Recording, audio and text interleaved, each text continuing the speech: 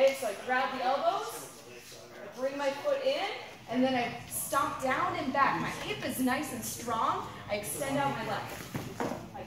Okay? From here, I would work toward trying to grab something on my partner. Okay, and what we're going to work on today is pushing the face away. So when my partner goes in for a takedown, one of the very first things I try to do is get my leg to the outside. Okay?